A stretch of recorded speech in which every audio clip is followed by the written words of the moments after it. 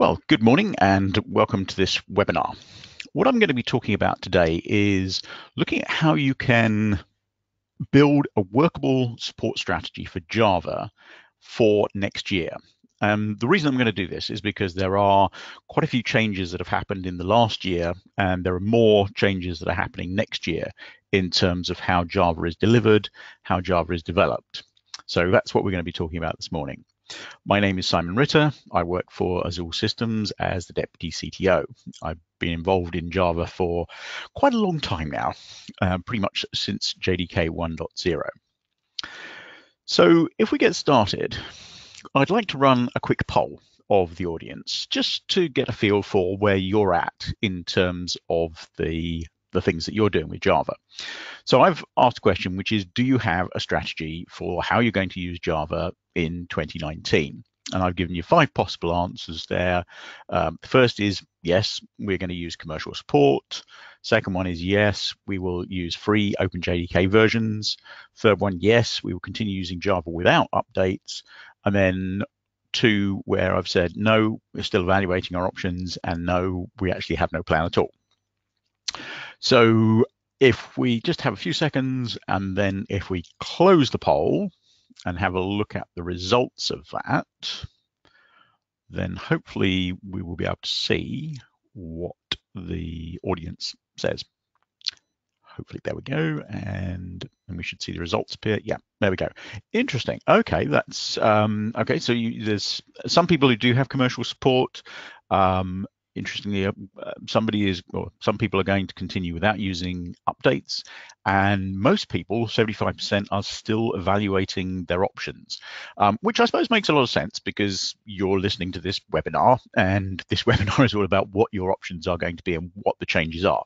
So it's quite logical in that respect. Okay, so let's start talking about what's happening and what's changing then.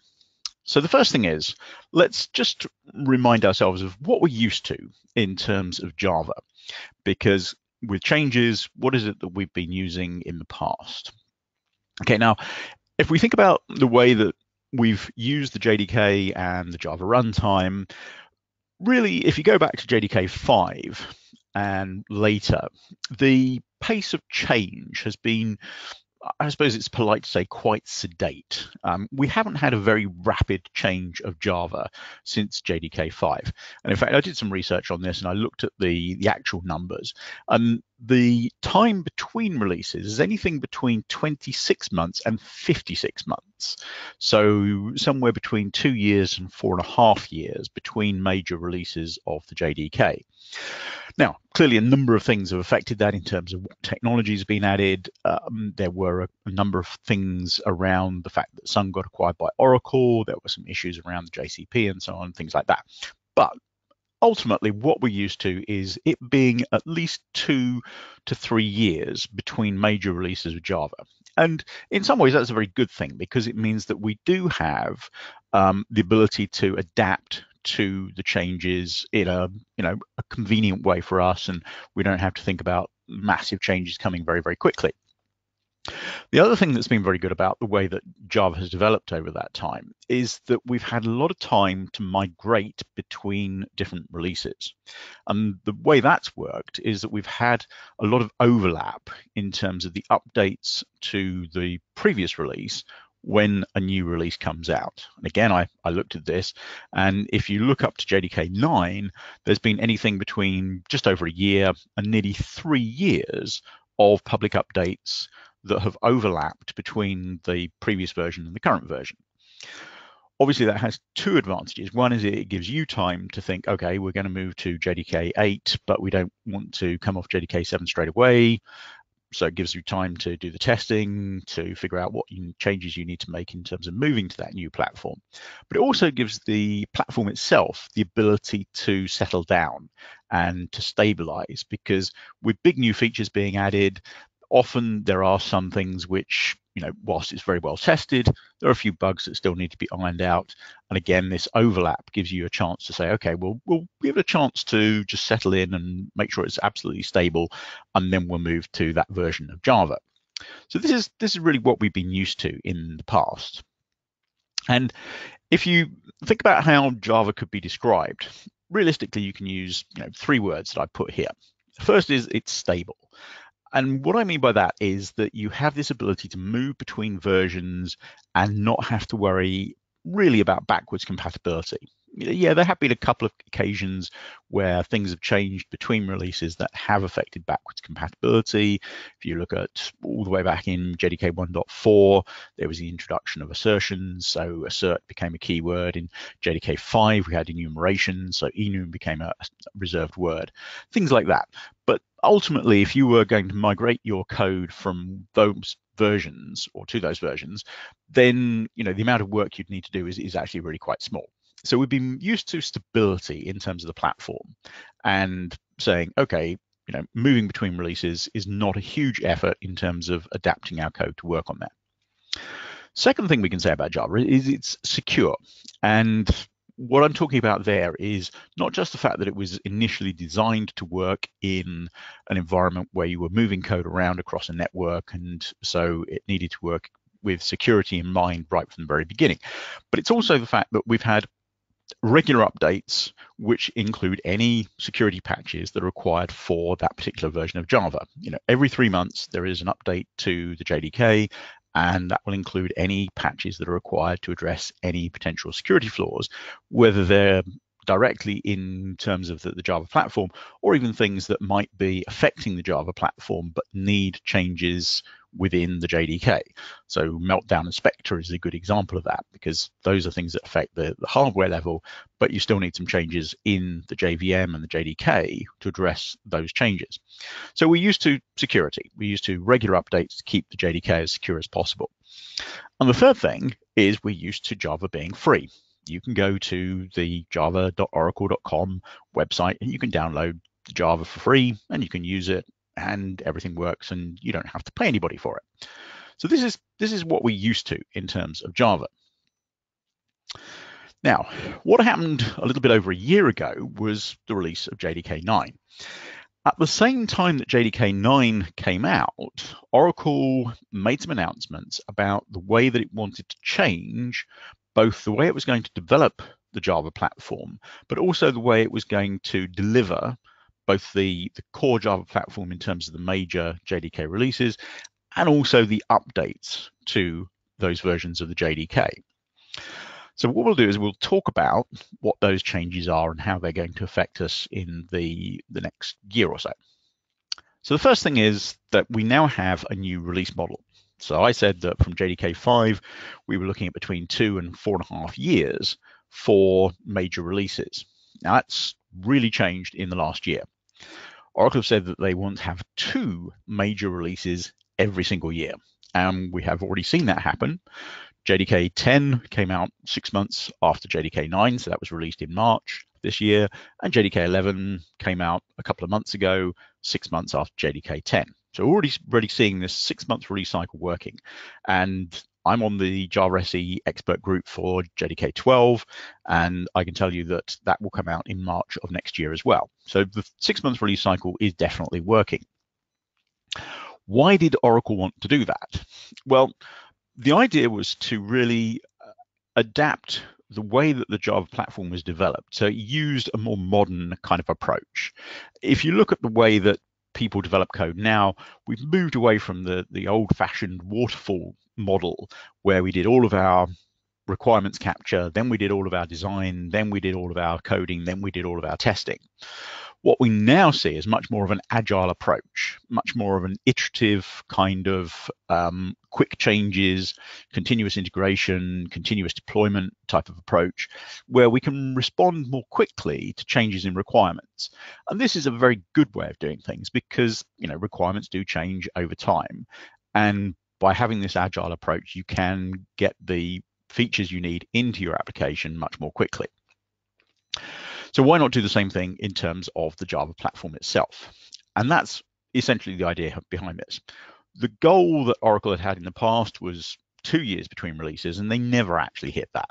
even the best that they managed was was two years and one month. So they, they weren't really quite on target for that. In order to do that, they've changed the way that they put features into a JDK.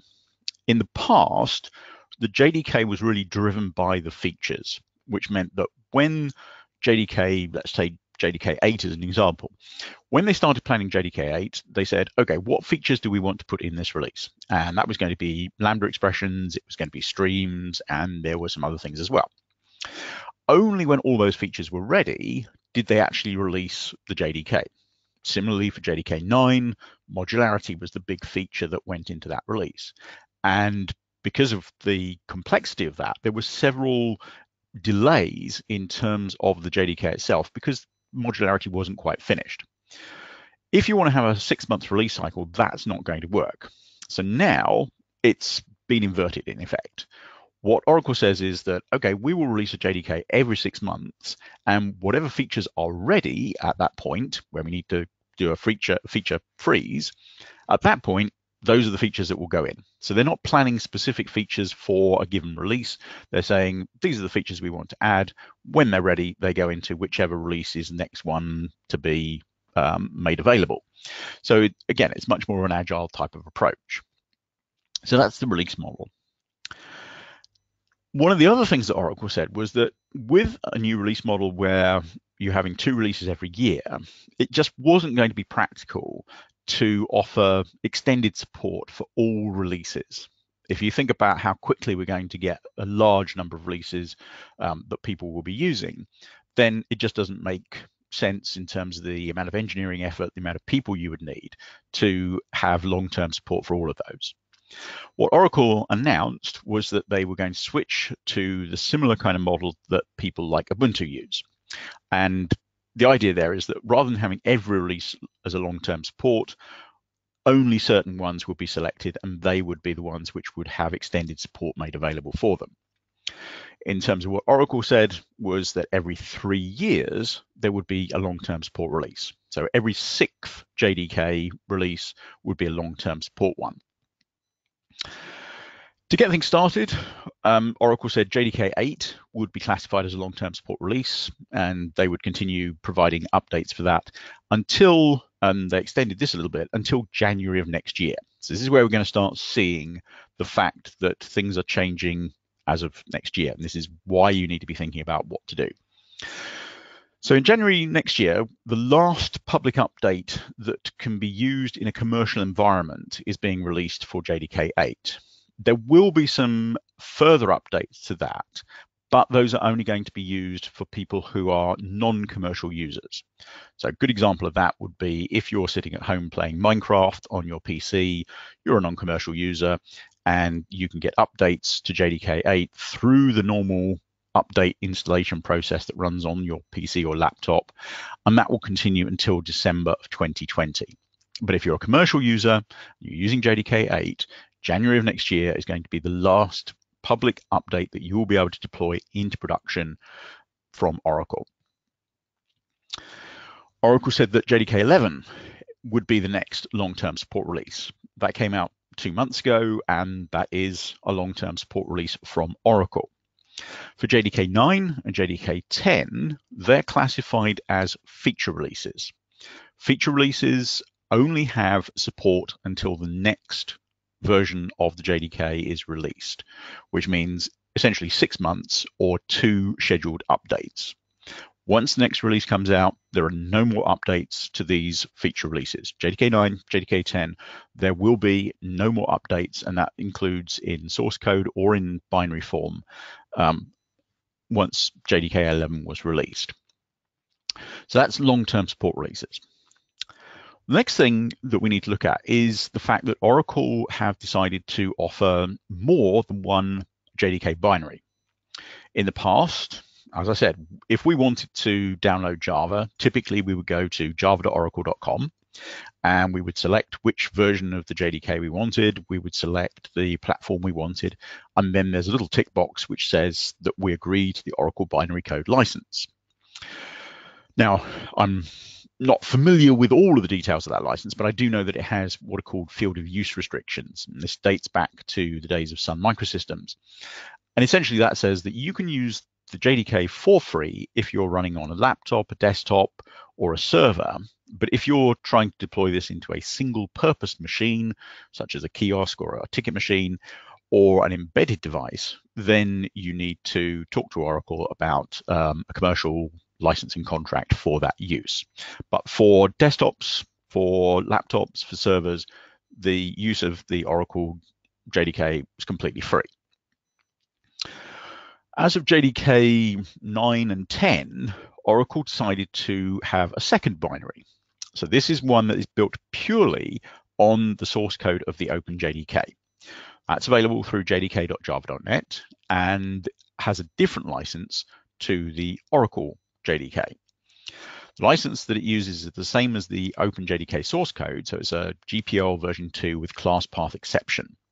The class path exception is there to protect your application code from the viral nature of the GPL, so that if you ship a combined JDK and application, you don't have to provide the source code of your application code because of the GPL license on the JDK.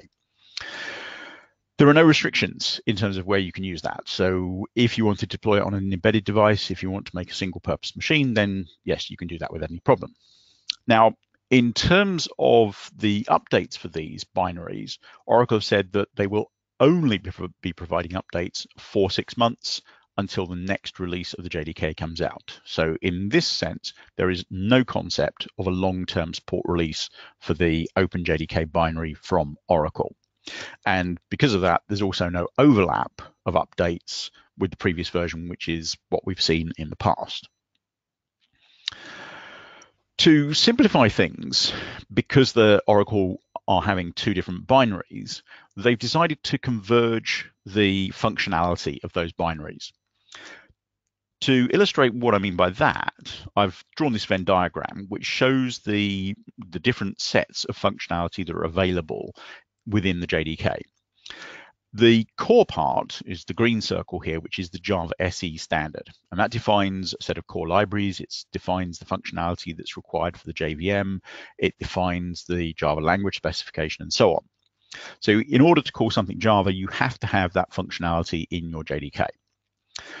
OpenJDK is a superset of that functionality even though the OpenJDK source code is the reference implementation for the specification of Java SE, there's some things which are extra there. The, the most notable of those is the the Nashorn um, scripting engine that um, allows you to run JavaScript from within the JDK. So that's part of the Open JDK, but it's not part of the Java SE standard. And then the Oracle JDK is a superset of the Open JDK where they provided some commercial features which were in addition to what was in the Open JDK. To simplify things from JDK 11 onwards, they've shrunk that down. So they've eliminated any differences between the Oracle JDK and what's in the Open JDK source code. So now we just have Java SE as the core part, and then both the Open JDK binary and the Oracle JDK binary have exactly the same functionality from JDK 11 and later. To do that, Oracle did two things. The first is that they open sourced some things which were commercial features and therefore closed source in earlier versions of the Oracle JDK. Most notable of these are things like Flight Recorder and Mission Control, which are tools you can use to monitor your JVM. You can look at the performance, you can see if you've got memory leaks and things like that. Application class data sharing was also a commercial feature which allows you to um, reduce the amount of time for startup by, in effect, caching the internal data structures that the JVM uses for class files. And then you can also share those amongst multiple JVMs if you're running multiple instances of the same application on a physical machine. And there's a few other small things as well that they've added uh, as part of that. The other half of what they did was they removed a number of features which had been in the Oracle JDK previously, um, which were closed source, but they didn't want to make open source. This was a, an opportunity for them to remove some, certain things which uh, had been proving problematic in terms of maintenance. Um, they had had a number of security issues and so on. Most obvious of these are the browser plugin. So in essence, applets have gone away from JDK 11 Java Web Start, which is an alternative way of deploying applications. So it's sort of halfway between an applet and an application. That functionality has been removed from the JDK in version 11, and also JavaFX, which was a replacement for AWT and Swing for writing graphical based applications. And because it was never part of the standard, that has been removed as well. So this brings us to the issue of compatibility, because with JDK 9 and onwards, compatibility is slightly different to what we're used to. And this is a quote from Oracle, where they say that clean applications that just depend on Java SE should just work. Now, clearly that's a, a, little less reassuring than we would like. You know, we would like to see clean applications that just depend on Java SE will just work. But there are some reasons why things may not work on newer versions of the JDK. And these are things that you need to be aware of when you're migrating applications between versions. And the reason for this is that in JDK 9, Oracle decided to do some long overdue cleanup of the JDK. And what had happened over time was that more and more features have been added to the JDK, to maintain this compatibility that we're used to, nothing had ever been removed. Because if you remove something, you're potentially breaking backwards compatibility. And it got to the point where Oracle said, okay, we need to have a bit of a cleanup. We need to remove some things, both to eliminate additional things that are not required anymore, but also to make the life of um, their engineers easier in terms of maintenance. So they started with some of the deprecated APIs. And we've had deprecation right from the beginning of JDK 1.1. And literally, I think about 450 API elements have been deprecated in the time since then, but not a single one have ever been removed. So in JDK 9, they removed some. So the first was they removed an entire class which wasn't even part of the Java SE standard. It was in the Java uh, Authentication and Authorization Service. And then from the Java SE standard, they removed a whole six methods. So very small change, but that was more required really to um, aid in the modularization of the JDK class libraries and simplifying the way that they could split up the various libraries into different modules. They also removed a number of redundant features, so things like the JHAT tool disappeared, the Java Virtual Machine Tools interface, HProf agent went away. There were various deprecated garbage collection options that were removed in JDK 9. Um, if you'd been using those, you would have got a warning message from JDK 8 or even JDK 7. And they also removed 187 of the minus XX command line flags. And so, as I say, these are things that you need to be aware of when you're moving to a new version of the, the JDK, because there will be some changes that might affect whether your application runs without change or whether you have to make some changes both to the code or the, the way that the JVM is actually started up. Now, this housekeeping, this cleanup is going to continue. So if we look at JDK 11, there were a few changes in JDK 10, but JDK 11 is quite significant because over 6,000 API elements were actually removed. And that's because they removed an entire what's called aggregator module, java.se.ee.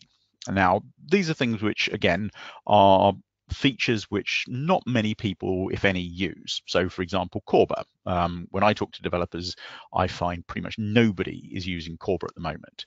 There's the Beans activation framework. Again, you know, very few people using that. A couple of things that might catch you out. So there's the Java XML binding API, that's JAX-B, and also the JAX WS web services APIs, which are for the older style SOAP based web services rather than the more modern RESTful approach. So there are still some people who are using that. Now, in terms of um, making code work, um, it's relatively straightforward. You just have to download the right modules um, from Maven Central or from the reference implementation, and you can get around this problem. But it is something that needs to be borne in mind. And this, again, is going to continue. So if you look at things like the CMS garbage collector, that has been deprecated. Nashorn, Pack 200, all been deprecated. And I would expect to see some other things being deprecated in the future as well, and then removed. So what Oracle have said is that they're not guaranteeing compatibility in the same way that they did in the past. And they've said quite explicitly that new versions of Java may include breaking changes, but they will give you warning. So they will make sure that anything that they are intending to remove will be deprecated first, whether it's an API, whether it's a language feature, whether it's part of the JVM, then it will be deprecated. And they will give us a minimum of one release warning, which is very generous of them because if they gave us less than one release warning, it would be no warning at all. The important thing about this is it does mean that there could be only six months between a feature being deprecated and that feature being removed from the JDK. Because with the new faster release cycle, you know, it could be JDK 13 deprecates a feature and then JDK 14 removes that feature six months later. Something to be aware of. So let's look at what Java is like now. So we've looked at what it was like in the past. What is it like now? Well, the first thing is that, as I said, Oracle are going to have a long-term support release every three years. And it's important to understand what that does mean and what it doesn't mean. So it means that there's a, long-term support from Oracle every three years, but that doesn't mean three years of free updates, which is what we would have been used to in the past.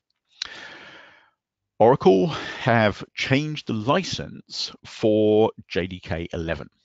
So if you go to the Oracle the java.oracle.com website now and you go to download the JDK 11 binaries, you will find that there is a new end user license. It used to be the Oracle binary code license for Java SE. Now it's the Oracle Technology Network Agreement license. And that is different. It's different because it says that you can still download JDK 11 or later for free, and you can use it for development, you can use it for testing, and you can use it for demonstrations. However, if you want to use the Oracle JDK in production, you cannot do that for free, regardless of whether it's a desktop, whether it's a server, whether it's embedded. In order to use it in production, you will need a Java SE subscription. So you will need to pay Oracle for support to use the Oracle JDK 11 or later in production. The free Oracle JDK binaries, so this is the alternative binary that they're providing through um, java.net, jdk.java.net. As I said, those ones only have updates for six months. So there is no concept of long-term support for the free Oracle OpenJDK binaries.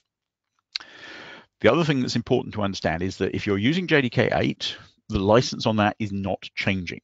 So you can continue to use JDK 8 or 7 or 6 or 5 indefinitely for free. But you have to bear in mind that as of January next year, there will be no more public updates for JDK 8. So you won't be getting any more security patches, you won't be getting more bug fixes for JDK 8, but you can continue to use it if you want to without those updates for free, no problem. So coming back to what I said earlier about these three words that we can use to describe Java, stable, secure, and free. Those three words still apply to Java, the Java platform, in 2019. But what we have to do now is we have to choose two out of three. What do I mean by that? Well, if you say, okay, I want to have stable and free, then you're going to have to sacrifice security because you can say, okay, I'm going to carry on using JDK 8. That's stable because I know it works and I've tested my code on it and it's free because I don't have to pay for it but I'm not going to be getting security patches anymore. So I'm potentially sacrificing the security of my application by having stable and free. If I want secure and free, we can do that, but we're going to sacrifice stability. The way we can do that is by using the Oracle OpenJDK binary and changing JDK version every six months. That way we're guaranteed to keep getting the security patches as they're made available. But we're going to sacrifice stability because as I've explained, there may be breaking changes between versions, and even with new features being added, it could um, have certain issues in terms of how quickly those features become stable and how quickly any bugs get ironed out in that. And then if you want both stable and secure, then you're sacrificing free because in terms of Oracle's plan, what they're saying is you can have stable, JDK 8, JDK 11, you can have secure, which means you get continued updates to those, but you have to pay for it. So you need a Java SE support contract if you want to continue getting stable and secure. So let's just briefly talk about Azul's Zulu Java, because this is an alternative to using Oracle's Java. Zulu Java is our distribution of OpenJDK. What we do is we download the source code from the OpenJDK website. We take exactly the same source code that Oracle are using to build their JDK, and we run all of the same build scripts to generate our binaries. Once we've generated those binaries, we then run the TCK tests on that. And the TCK tests are part of the Java SE specification, and they're used to guarantee that whatever binary is being created matches the details of the specification. So if you've written some code in Java, you compiled it. If you're only using the, the Java SE standard, then your code will work on a version which has been tested with the TCK. So we make sure that it tests, passes all the TCK tests. In terms of versions, we actually go all the way back to JDK 6. And what we're doing is we're backporting fixes from newer versions. So at the moment, we've been backporting fixes from JDK 8 to JDK 6 and JDK 7.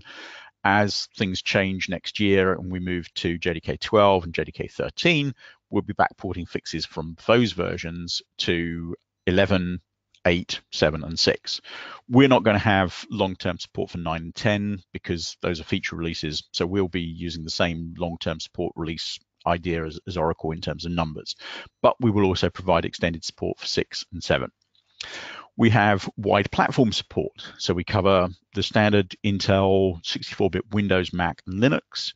We also have some customers who've asked us specifically for 32-bit versions because they're running older machines which have 32-bit operating systems on them, and they still want to have Java support on there. So we have 32-bit versions of the JDK for Windows and Linux, and then we also have versions that can be used uh, for embedded systems, so ARM32, PowerPC, and ARM64, which could either be an embedded system or it could be what we're seeing now, um, certain servers being developed using that architecture. So a wide range of support available for different platforms and different versions of the JDK what we do in terms of extending support is make sure that what you're getting is exactly what you need. So we will backport, as I said, any bug fixes and security patches from the supported OpenJDK release. So whether that's 11, 12, 13, 14, and so on. And we will continue doing that for a long time. And depending on which version of, of Java you want supported, um, the, the time that we will continue doing that um, will vary. So right now we are saying that for Zulu 8, which is JDK 8, this will be supported until March 2026. So that's another seven years and a bit of updates for that. If people will want to move or want to carry on using JDK 8 beyond that, most likely, if we have a number of customers who want to do that, we will continue to do that um, for longer. Uh, we're very flexible about that kind of thing. Our typical approach is that for the long-term support releases, we will provide nine years of active support, meaning we will backport fixes for nine years, and then we will have another two years of passive support beyond that. And passive support is effectively saying we won't be issuing patches and, and bug fixes as updates for those versions. But if you're continuing to use it and you have a problem, you can still phone us up and say, this bit doesn't work. We will then create a fix and generate a binary for you with that fix in it. Another thing that we have decided to do is to enable you to use some of the versions of Java which fall between the long-term support releases. And we're calling these medium-term support releases. So two of the versions between the long-term support releases, so let's take between 11 and 17, 13 and 15 are going to have extended support so that you can you can use those beyond the six months that you get the updates from Oracle. The idea here is that if there's a feature in 13 or 15 that you really want to use, then you can deploy that into production, you can continue getting updates, and we will continue to do that until 18 months after the next long-term support release comes out, so that you've got 18 months to migrate your application from, let's say, 13 to 17. We offer complete support for our Zulu JDK. So this is not just about backporting the fixes that Oracle make available. We do provide a complete support package. So in terms of customer interaction, we can do 24 by 7 by 365, or we can do 8 by 5. We can do telephone and email contact. And if you do have a problem with the JDK, you can report it through one of these channels, and we will work with you to get a resolution to that problem. We have a, a, follow the sun engineering team, so we can actually work on a problem literally 24 hours a day. Um, we have very highly experienced engineers. Many of them are ex Sun engineers, ex Oracle engineers who've worked on the Java team. They know what goes on in terms of the JDK and the JVM because they actually help develop certain parts of it. And as I said, we go beyond just backporting the fixes that Oracle make available. We can do root cause and create fixes for problems if you find them and they're not being addressed by um, the OpenJDK team. So we can generate custom JDK binaries for fixes, and we will, to the best of our ability, upstream those fixes into OpenJDK where we can just to kind of put that into a picture in terms of um, what we're doing. So as I said, we have the long-term support releases which match with the Oracle ones. So these are the, the blue ones here. So we can see 11 is a long-term support release, 8 is a long-term support release, um, 7 for us is a long-term support release as well. And then in terms of the medium-term support releases, um, we're actually saying that uh, 13 and 15 will be long medium-term support releases. Um, if you wanted to use nine, we could we could do that as medium term support release, but I, I think nobody's really going to switch to nine because 11 is already out, and so that would make sense. So 13 and 15 um, will have continued support until 18 months after 17 comes out, so that you've got time to migrate to that version. Just to summarize then um, what I've kind of said, um, Java is changing, and it really is changing next year in a way that is going to have to be addressed with people who are using Java in production.